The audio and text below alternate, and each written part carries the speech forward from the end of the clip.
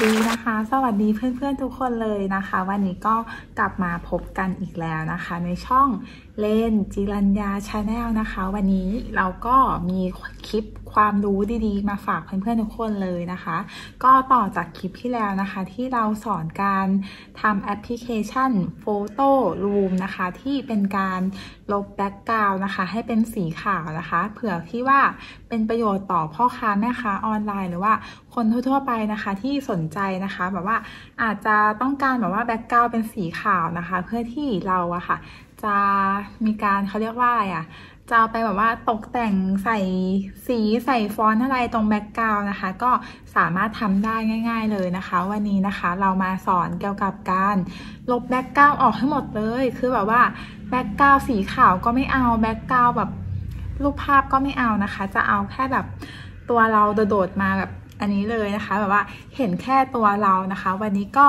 จะมาแชร์การตกแต่งแอปพลิเคชันแอปพลิเคชันหนึ่งนะคะ ที่แบบว่าฮิตกันมากเลยนะคะ นั่นชื่อว่าแอป Eraser นั่นเองนะคะ แอปแอปนี้นะคะ ก็เพื่อนๆก็ดาวน์โหลดมานะคะ เดี๋ยววันนี้จะมาสอนกันทีละขั้นเลยนะคะ ก่อนอื่นที่จะไปเรียนกันนะคะ ก็อย่าลืมกด ติดตามเป็นกำลังใจให้กันด้วยนะคะ เพื่อที่ว่าเวลามีคลิปความรู้ดีๆนะคะ เราก็จะได้แบบมาแชร์ข้อมูลกันเนาะกดติดตามก่อนนะคะ มาค่ะหลังจากเพื่อนๆนะคะ ดาวน์โหลดแอปพลิเคชัน Eraser กันแล้วนะคะ ดาวน์โหลดกันแล้วใช่ไหมคะ ต้องดาวน์โหลดก่อนเลยนะคะ วันนี้นะคะก็จะมาขอทวนคลิปที่แล้วนะคะ ทวนแบบว่าคร่าวๆนะคะ ถ้าเพื่อนๆอยากรู้รายละเอียดลึกๆเลยนะคะ ก็ต้องกดเข้าไปเรียนในคลิปที่แล้วนะคะ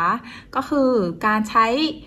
แอปพลิเคชัน Photo Room นะคะ เพราะว่าการที่เราจะทำ Eraser ให้มันง่ายๆ เนี่ย เราก็ต้องผ่านการใช้แอป Photo Room มาก่อนนะคะ เดี๋ยวเราจะลองทำไปพร้อมๆกันเลยนะคะว่า ว่าเริ่มต้นทำยังไงนะคะ เดี๋ยวจะทำตั้งแต่ตอนเป็นแบบว่าทั้งรูปเลยนะคะ โอเค มาค่ะ อันนี้เป็นการทวนนะคะ การทวนการใช้แอป Photo Room ก่อนนะคะ เป็นการแบบว่าทวนคร่าวๆก่อนนะคะ โอเค เพื่อนๆก็กดเข้าไปที่ Start from Photo นะคะ Start from Photo แล้วก็เลือกรูปนะคะ เลือกรูปเอาเป็นว่าเอารูปไหนดีนะ เอารูปนี้ดีกว่า อ่า สมมติเอารูปนี้นะคะ แล้วก็กด คลิกเข้าไปนะคะ แล้วก็แอปพลิเคชัน Photo Room เนี่ย มันก็แบบง่ายมากเลยนะคะ มันจะลบ background ออกให้เราหมดเลยนะคะ เหลือแต่สีขาวแบบนี้นะคะ ก็ให้เรากดไปที่เซฟลงอัลบั้มนะคะ อันนี้คือเซฟเสร็จแล้วนะคะ เราก็เข้าไปที่แอป Eraser นะคะแอปพลิเคชัน เดี๋ยวจะลงไว้ให้แอป Eraser นะคะ คลิกเข้าไปเลยค่ะ คลิกเข้าไปแล้วหน้าตาก็จะเป็นแบบนี้เลยนะคะ แล้วก็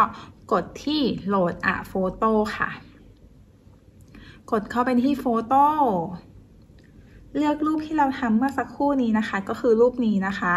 แล้วก็ให้เรากดคำที่คำว่าดนนะคะ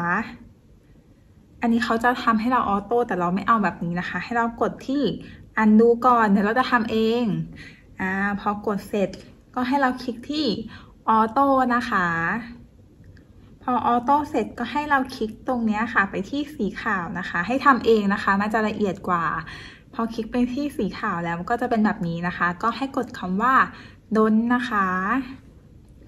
ก็จะมาอีกหน้าหนึ่งเลยนะคะ ก็ให้เพื่อนๆเลือกคำว่าฟีเจอร์นะคะ ให้เลื่อนมานิดนึง เพราะว่าไม่งั้นมันจะมีแบบว่าขอบขาวๆตามตัวเราอยู่นะคะ การคลิกอันนี้มันจะเป็นแบบ การการลบขอบขาวๆได้นะคะ ก็ให้เราเลื่อนมานิดนึงนี่นะคะแล้วก็ดูเอาว่ามันน่าจะหมดนะคะ เพราะว่าถ้าไม่หมดเพื่อนๆก็สามารถกลับมาทำใหม่ได้ก็เลือกแบบเพิ่มขึ้นเพิ่มลงนะคะนี่ก็จะเลือกแค่นิดเดียวนะคะ แล้วก็ให้กด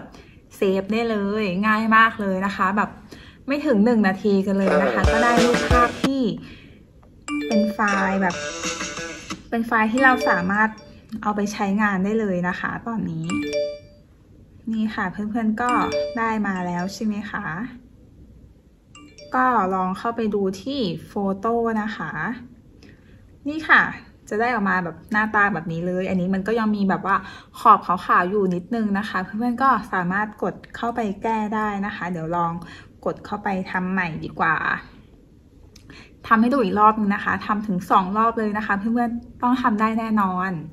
เราก็กดไปที่โหลดอะโฟโต้นะคะ แล้วก็เลือกรูปเหมือนเดิมเลย แล้วก็เลือกรูปนี้มา กดดนนะคะ กด undo นะคะ เดี๋ยวเราจะทำเองนะคะ ไม่ให้มันทำให้เรา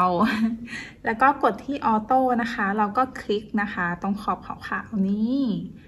มันก็จะแบบ ทำทำให้เราอะค่ะ กดล้น แล้วต้องฟีเจอร์นะคะ เมื่อกี้เราเลือกมานิดนึง แต่ว่ามันยังมีขอบขาวๆอยู่นะคะ แล้วก็เลือกมาเพิ่มอีกนิดนึงละกันเออก็กดเซฟ กด Done นะคะนี่ก็คือเสร็จแล้ว แล้วก็กดเข้าไปดูนะคะ นี่ค่ะ ขอบขาวๆมันจะแบบว่าจางลงกว่ารูปที่แล้วนะคะ นี่ เป็นไงคะง่ายไหมคะ ก็จะได้รูปออกมาแบบนี้เลยนะคะแบบเฉพาะตัวเราแบบโดดๆเลยอะคือแบบง่ายมากจริงๆนะคะเพื่อนๆอยากให้เอาไปลองแบบใช้กันนะคะ เพราะว่ามันก็น่าจะเป็นประโยชน์ กับเพื่อนๆทุกคนเลยนะคะ ค่ะเป็นไงคะที่สอนไปนะคะ หวังว่าเพื่อนๆจะสามารถเอาไปใช้ได้แบบร้อยเปอร์เซ็นกันเลยนะคะ ไม่ยากนะคะ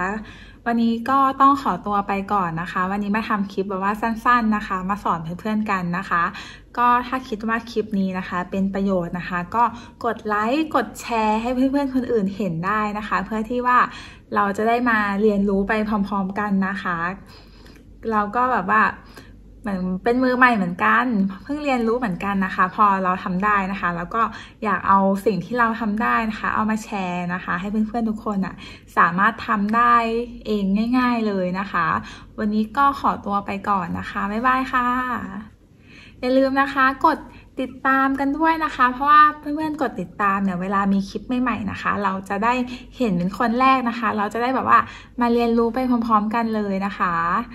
เดี๋ยวจะมา แชร์เทคนิคไอเดียต่างๆนะคะ มีอีกเยอะแยะเลยนะคะ บ๊ายบายค่ะ กดติดตามไว้ด้วยนะ